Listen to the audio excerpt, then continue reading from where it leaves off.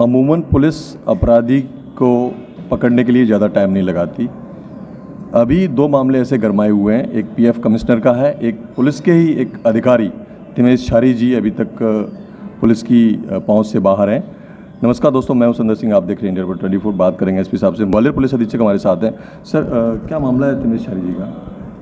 नहीं आपको मालूम है ना? हाँ, मालूम है। तो क्या क्यों पकड़ से बाहर है सर? नहीं अभी तो हम लोगों का इन्वेस्टिगेशन ही चल रहा है उसमें और उसमें हम कार्रवाई कर रहे हैं। उनको जो भी है साक्ष्य पूरे हो जाएँगे उसको गिरफ़्तार भी करेंगे और उसके लिए भी तलाश भी चल रही है। अच्छा सर इसमें हनी ट्रैप का मामला जैसा शो हो रहा है इसमें तो क्या सर महिला के विरुद्ध भी कोई कार्रवाई होगी?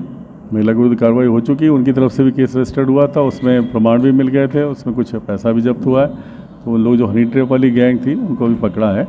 और उनकी चूँकि उन्होंने बताया था कि उनके साथ में दुष्कर्म की बात हुई तो चूँकि महिला है हमने उस पर प्रकरण पंजीबद्ध किया है और उसको इन्वेस्टिगेशन में लेके हम उस पर भी कार्रवाई उसकी पुष्टि सर होने के लिए मेडिकल जाँच या कुछ इस तरह की? मेडिकल कराया गया है उसका एक के बयान भी कराए गए हैं कोर्ट में। ये कयास लगाई जा रही है कि भाई जो पुलिस अधिकारी हैं वो एक पर, मतलब पुलिस परिवार के इसलिए समय लग रहा है।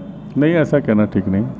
अभी रिसेंटली ही विक्रम रावत जी एक वहाँ के लगभग हुआ होगा। विक्रम रावत एक युवा सरपंच थे। उनकी हत्या हुई। उसमें एक पीएफ कमिश्नर का भी बुक किया है। उनको भी एफआईआर में बुक किया है। सर उसके मामले में क्या कहेंगे? उसमें उनको पकड़ने के लिए प्रयास कर रहे हैं। उन पर इनाम भी घोषित है। टीमें लगी हुई हैं। मैंने कहा जल्दी पकड़ लेंगे। उससे जो मुख्य आरोपी जो थे वो सारे हमने पकड़ लिए थे और उनकी भी कोशिश चल रही है। तो उसमें क्या कुछ अ, मतलब जाँच की पुष्टि होकर के एफ़ हुई है या ऐसे ही सर उस महिला के कहने पर कर दिए पीएफ कमिश्नर में जो आत्महत्या की वो जो साली थी विक्रम रावत की। देखिए उसमें दो केसेस हैं। एक मर्डर का केस है। मर्डर केस में एफ़ में नाम आया था। उसके बाद में हम लोगों ने आरोपी भी पकड़े हैं और आरोपियों से लिंक करके उसमें उसमें भी नाम आया उनका। तो उसमें भी अरेस्ट होनी है उनकी दूसरा प्रकरण जो है वो अभी विवेचना में। इस तरह से सर क्या है कई मामले जैसे पुलिस की पकड़ वाले जो मामले आते हैं पुलिस पर्सन पर जब एफआईआर होती है तो लगभग पुलिस थोड़ा सा उस पर रवैया ऐसा अपनाती है कि आराम से अरेस्ट किया जाए। क्या कहेंगे सर इस बारे नहीं ऐसा नहीं है। क्या आपको दिख रहे हैं क्या? हम लोग भी कोशिश कर रहे हैं। कुछ जानकारी हम तो जनता से भी कहेंगे। अगर कोई बताता है कहीं पोस्टिंग है और हम लोग पूरी कोशिश करके क- पकड़ेंगे। अगर क्राइम किया है तो हम केस तो रजिस्टर्ड ही कर रहे हैं।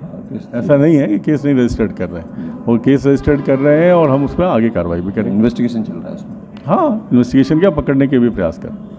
ये थे हमारे साथ ग्वालियर पुलिस अधीक्षक। आप लगातार हमारे चैनल पर बने रहिए, लगातार देखते रहिए, क्या कहेंगे, क्या राय है आपकी, क्या पुलिस इसमें लितलाली कर रही है या फिर पूरे तरह से काम कर रही है। नमस्कार, जय हिंद।